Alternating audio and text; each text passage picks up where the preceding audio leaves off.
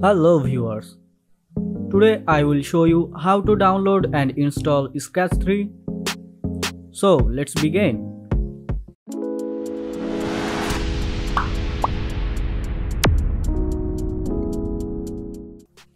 First, I will open any browser.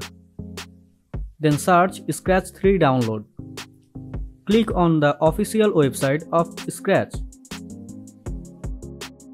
Here are download options for different operating systems. I select Windows. Then select direct download.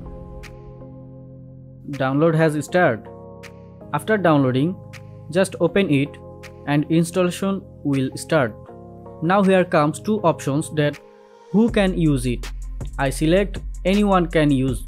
Then click install.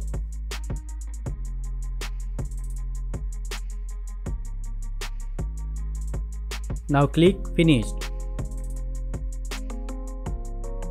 Now here is choose any option.